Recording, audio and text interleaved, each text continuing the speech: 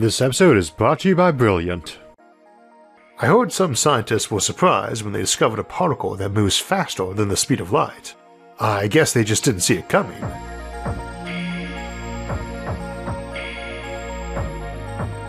We occasionally talk about what faster than light or FTL travel or communication might imply for exploring the universe, but mostly on this show, unlike virtually every science fiction setting, we take the stance that light speed is a hard limit, something you can't even reach with a spaceship, let alone exceed.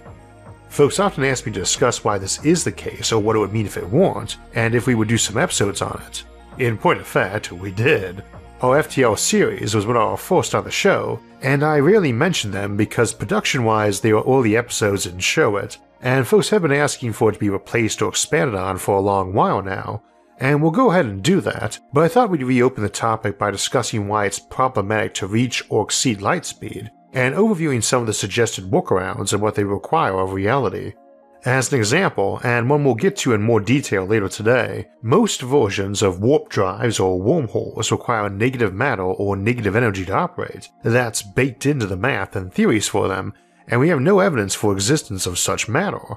That's what we'll be looking at in our summary for today, and our effective prologue for the reboot of that FTL series, the basics of why FTL isn't thought to be allowed under known physics, and the various ways proposed FTL methods might exist if that understanding is incomplete or flawed, or we can find some cheat code to reality.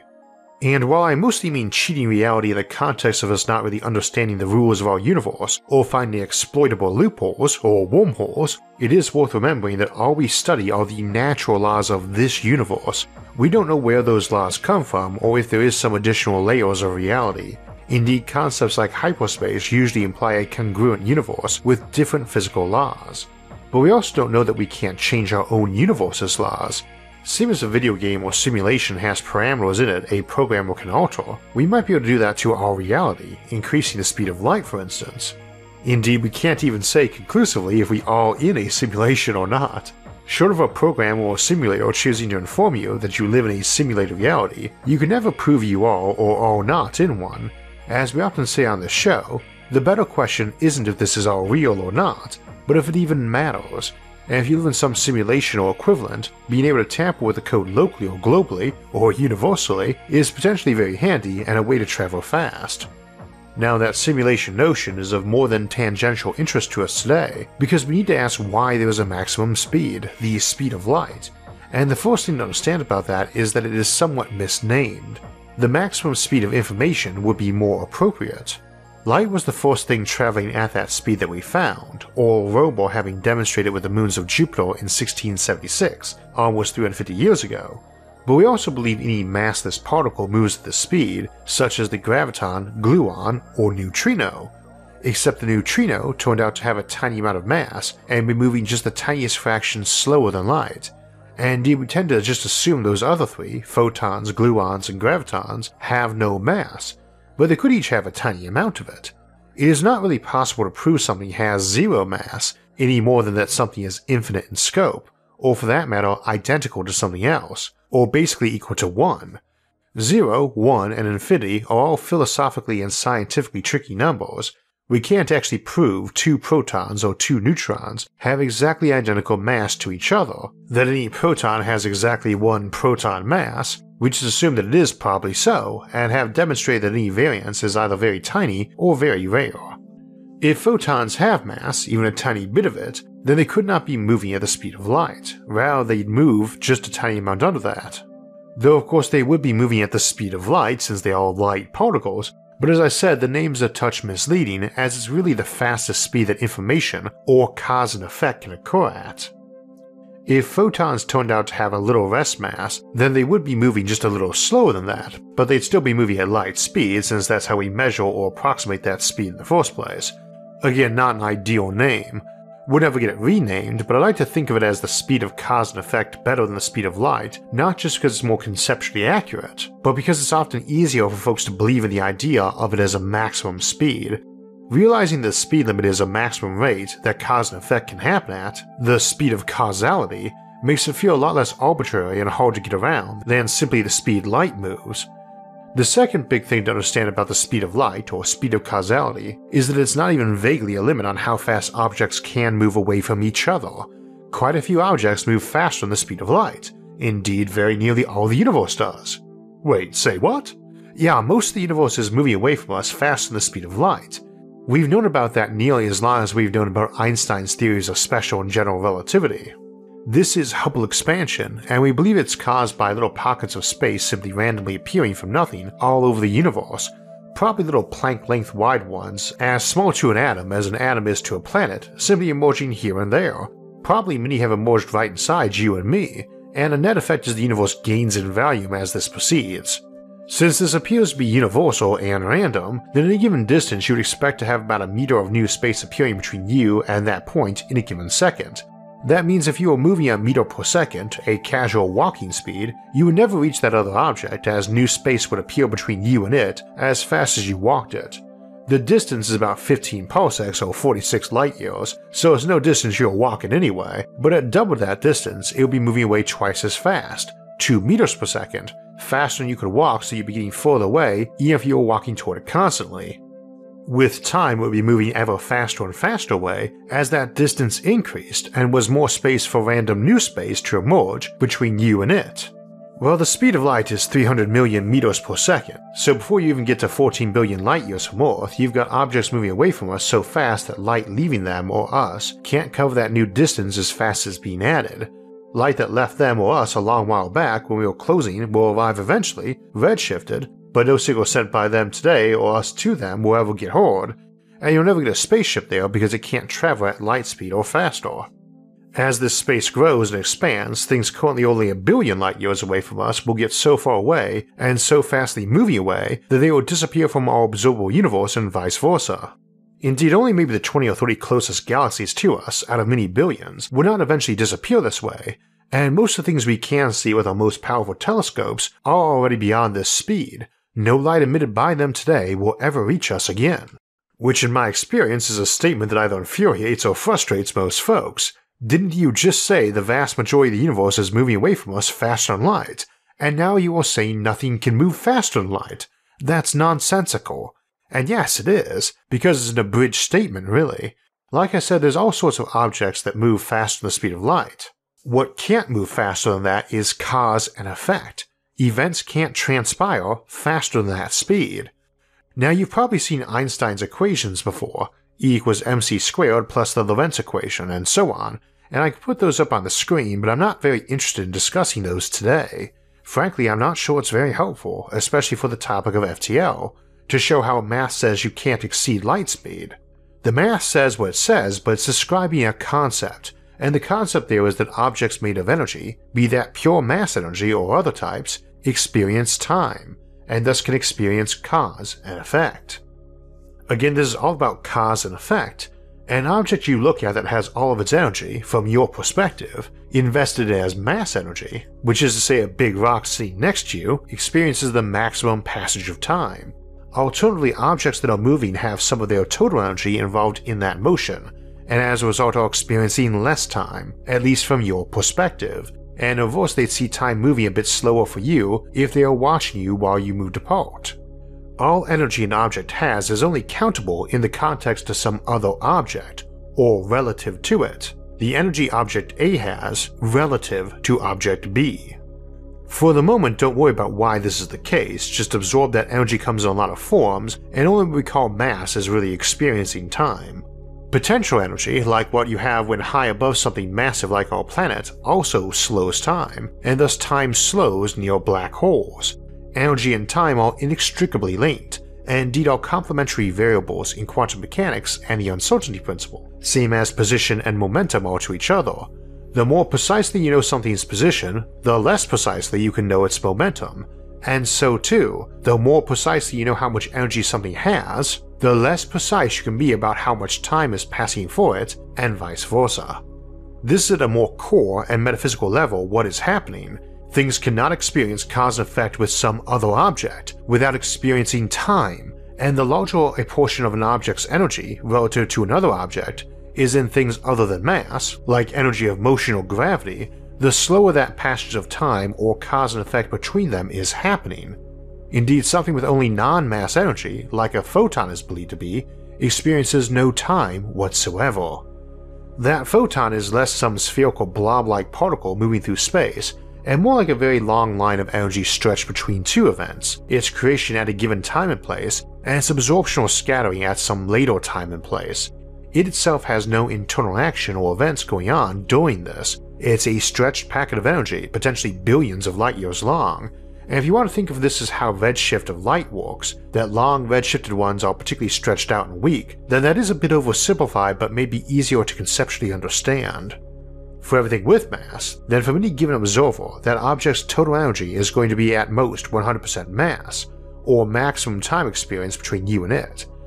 Now, in practice, even an object stationary to you, like the screen you're watching this episode on, has some other energies besides mass from your perspective, it has heat energy, the random motion of particles is made of, and it's got some gravitational potential energy with you. You both pull on each other just a little bit, but for you and me and objects we interact with, these other energies generally make up far less than a percent of the total energy that object has relative to us. Key word there, relative to us, because its mass might be the same whether it's sitting next to me or moving away from me, but that motion takes energy, and it's not energy that object has relative to something glued to it, or in the eyes of a passing observer. Those energies, though, are slowing time in terms of you interacting with that object, and they can get to be very significant outside our daily lives here on Earth. Again, most objects in this universe are moving away from us and each other faster than light. So we can't experience any time with them at all, no cause and effect exchanges. Things moving very fast relative to us, like some spaceship flying by, or things with a lot of mass, like a star or a black hole, have so much non mass energy relative to us that their cause and effect exchanges between us and them are much slower. Weird concept, but essentially mass is that thing which experiences time and interactions, and the bigger the ratio of it to other energies involved, the faster those interactions occur.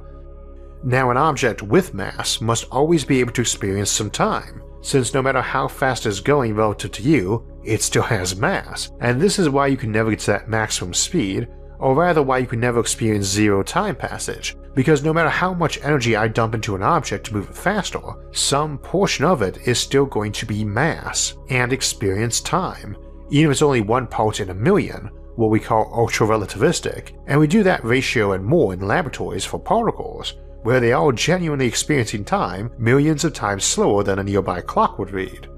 Now, why is this speed, this speed of light or speed of causality, 300 million meters per second? We don't know. We don't know why the amount of gravitational force a kilogram of mass exerts at 1 meter's distance is 67 piconewtons, not say 1 newton. And there may be universes where it's higher, and there may be some way to alter the laws of reality to make it be 1 newton. There may be places where light speed is higher or lower, and maybe we can change that speed of causality, or change how much force a kilogram of matter exerts gravitationally. But this is the kind of change we're talking about when we talk about getting around light speed. It's not a wall to punch through, it's a barrier the way 2 plus 2 equals 4, and making it equal 5 requires breaking some barrier. It's not some speed limit for matter or energy in that sort of sense. Just phrasing it that way predisposes us to view it as some barrier to break.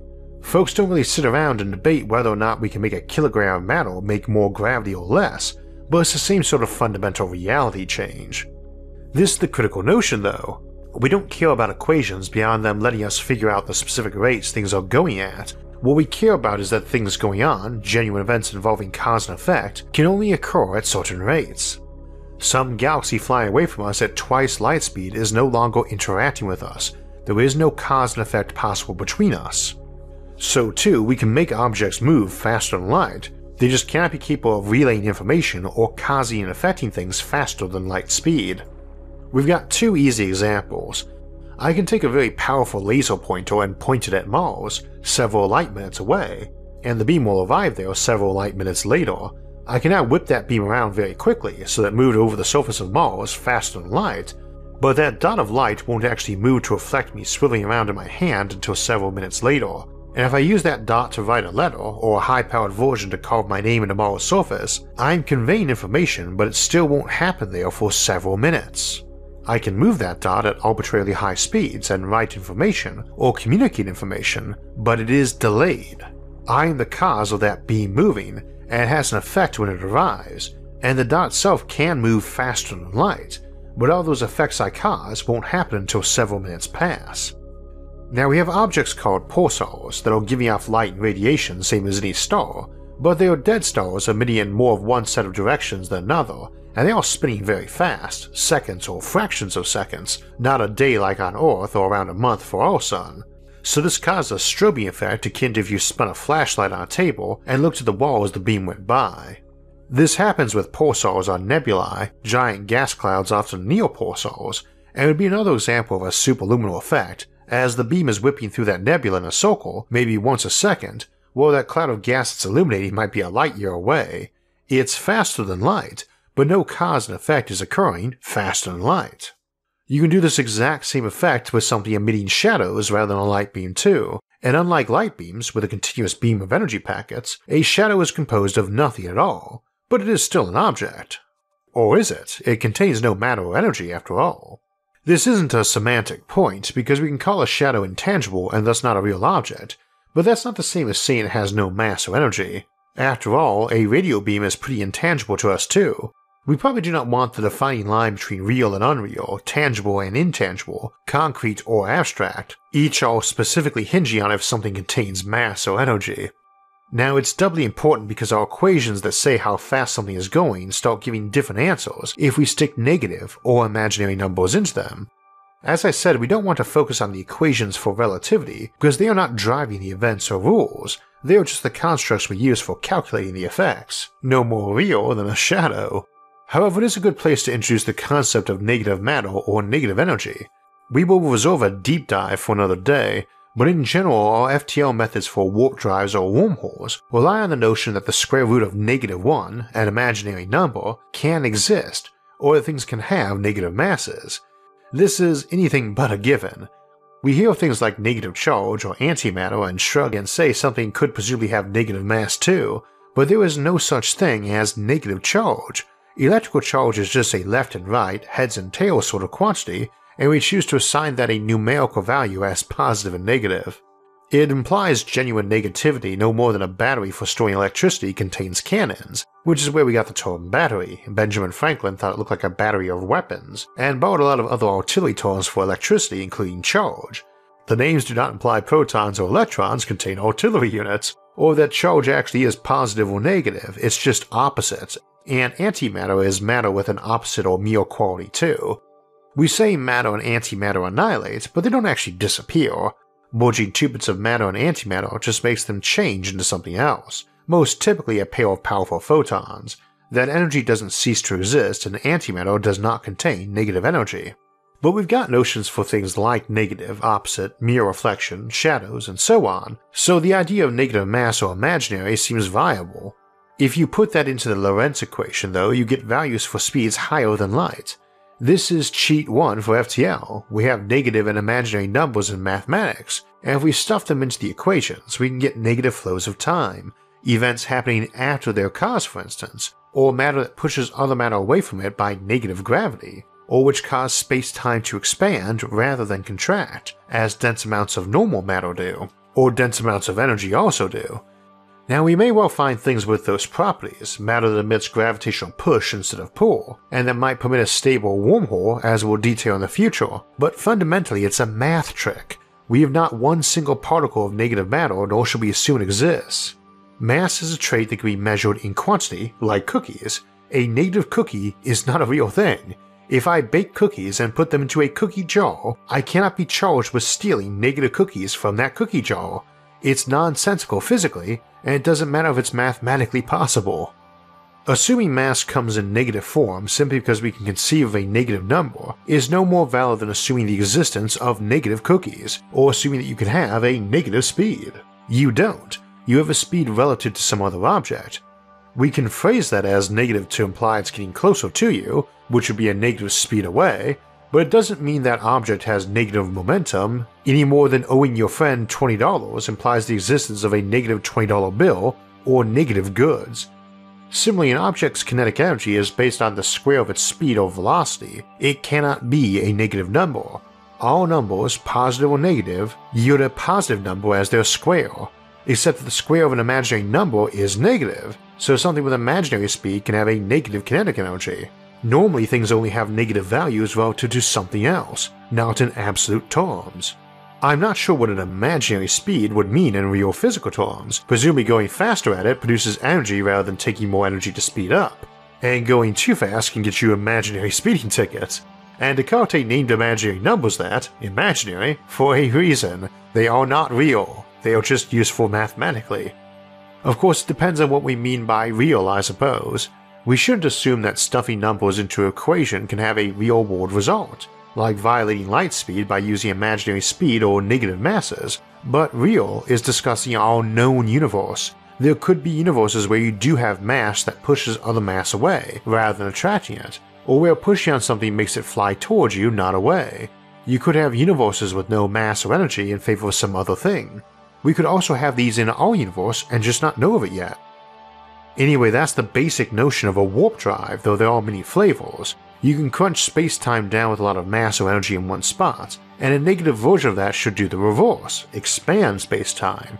If you can crunch space time down ahead of you, while expanding it behind you, this offers a way to move an object in a given direction and one that's not using classic motion and energy in a way that's constrained by relativity. No violation of cause and effect here, any more than faster light expansion between distant galaxies causes it. This also offers a non-FTL version called the bias drive, which uses a glob of negative matter and a glob of regular matter to create a non-uniform field of gravity, kind of like an electric dipole, to cause a spaceship attached to them to fall in one direction as a means of propulsion. It's an example of how negative mass is still insanely valuable even if it didn't permit FTL, Negative matter is also potentially handy for creating the throats of wormholes, which is basically creating a big black hole or then jamming a ring of negative matter into it to permit travel to a singularity in the middle without being crushed or torn apart, and presumably out the other side into elsewhere in this universe, or some other universe. As already mentioned, there's another option for FTL. You cheat the game by playing it elsewhere, some place congruent to our own universe, that was either smaller or had a faster speed limit. You jump there, move, then jump back here, this is generally the notion of hyperspace. This works just fine if such places exist, and if there's a way to travel to them and back, and if they actually had any congruency to our own universe. We have not a single bit of evidence backing any one of those three being true, but none opposed either, to be fair. Tachyons are another concept for unreal matter. They were really popular in science fiction in the 1980s and 1990s, and have largely disappeared in favor of quantum entanglement as the sci fi go to method of realistic FTL, so we'll discuss those two options before closing out for the day. Tachyons cheat reality by being a particle that exists on the other side of the light speed barrier. They don't have negative mass, they have imaginary mass, and not so much a specific particle as a type, akin to antimatter mirror reflections of regular matter, or matter with negative mass. Tachyonic matter is particles with imaginary mass, in this context, we'll sometimes call matter with real mass tardionic matter. It moves slow or is tardy, and matter with no mass, like photons, luxons or luxonic matter, lux meaning light.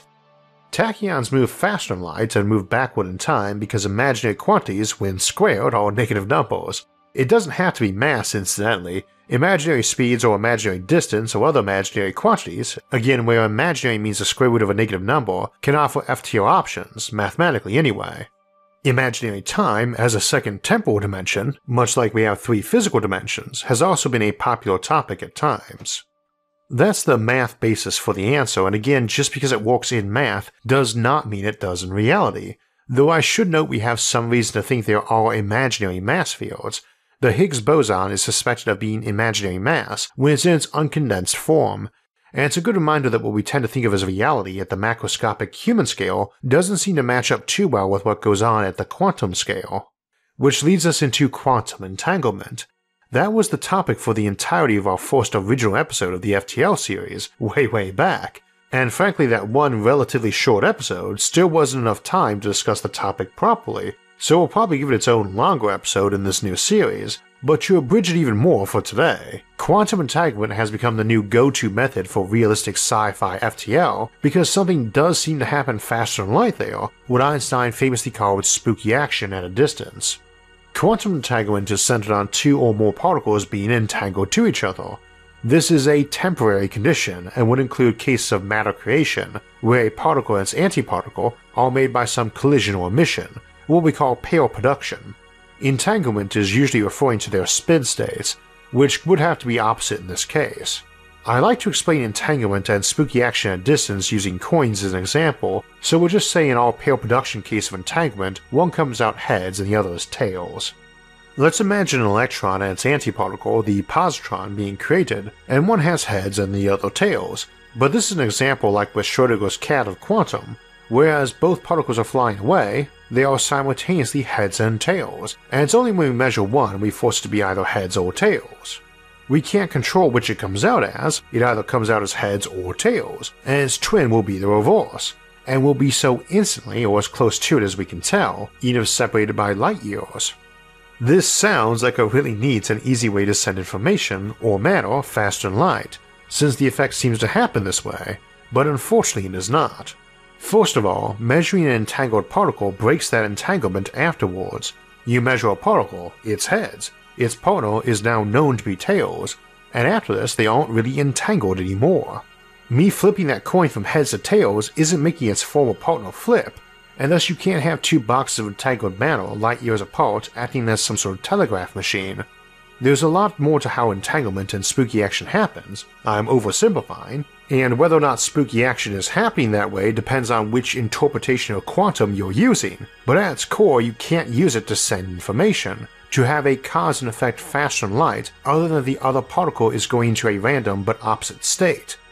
As another conceptual example of this, if I send out two letters, one saying this letter is printed in red ink and is one of a pair, the other printed in green, then the person who opens that letter up, either one, instantly knows the content of the other letter too, that it's red or green, even if that letter is 50 million light years away when opened. The two are entangled, but we can't use this to send information faster than light. The difference here is that the two letters would be quantum objects, flickering back and forth between red and green ink until I opened it and determined it was red or green on mine. Again, that's oversimplified, and we'll examine the concept of quantum entanglement for FTL and for some other handy uses some other time. As we will with the others, and we will try to ask for each case what the real world consequences and uses would be too, like how you might lay out a wormhole network for a galactic empire in future episodes.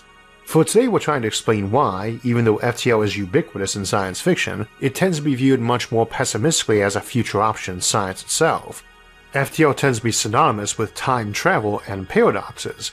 Again, exactly because it's not really faster than light, it's faster than causality, and when causes are not preceding effects, you get time getting weird and paradoxes. My last two examples of why FTL probably isn't possible are intuitive rather than scientific. First, for time travel, think of all the time travel episodes, shows, films, and books you've encountered, and how full of handwaves and plot holes they tend to be when you ponder them, Ask if maybe that's because time is essentially pointing in the direction of effect following cause, so if you're trying to move them the other way or twist them around, you inevitably get something which doesn't make sense. On the FTL front alone, I appeal to the Fermi paradox, our big question of where all the aliens are in this huge and ancient universe. They don't seem to be around, and that's hard enough to explain with concepts like rare conditions and great filters, when a potential civilization needs to have emerged before us and relatively near us. If they can move faster than light, they could have visited or colonized our own galaxy even if their origin point was 10 billion light years away, or more, beyond the edge of our observable universe, and this massively increases the value of space they could originate from and requires far more improbabilities in evolution to intelligence and technology than a slower than light universe does. FTL only exacerbates the Fermi paradox, and when you throw in time travel, which is generally connected to most FTL options anyway, then it's not about if we evolve first in our area of the galaxy anymore. You have to contemplate encountering civilizations that originate from planets that haven't even formed yet, in regions of the universe life from us has never reached and never will. Folks are often sad to think this staple of science fiction might be impossible. They feel it denies us the stars, and so many of our episodes on this show are about showing how we can reach them anyway, even slower than light, but we should also keep in mind that there's a good chance that the only reason we are even around to contemplate the option is that FTL is impossible, and no aliens ever figured it out and colonized our world before we had a chance to exist. So maybe this limitation is something we should be grateful for instead.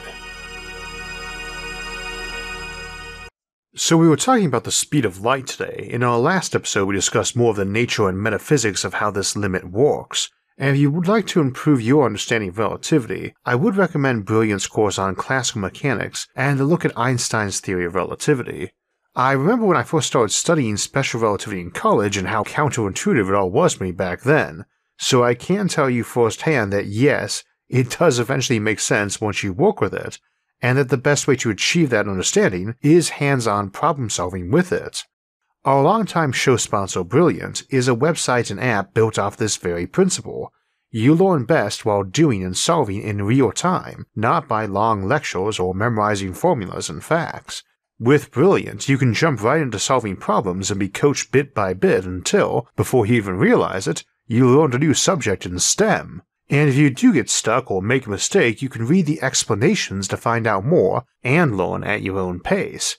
Brilliant has something for everybody, whether you want to start with the basics of math, science, and computer science, or try any of their many excellent daily challenges, with combined with a cup of coffee is one of my favorite ways to get my brain jump started for the day. If you'd like to join me and a community of 8 million learners and educators today, click the link in the episode description below or visit brilliant.org slash Isaac Arthur.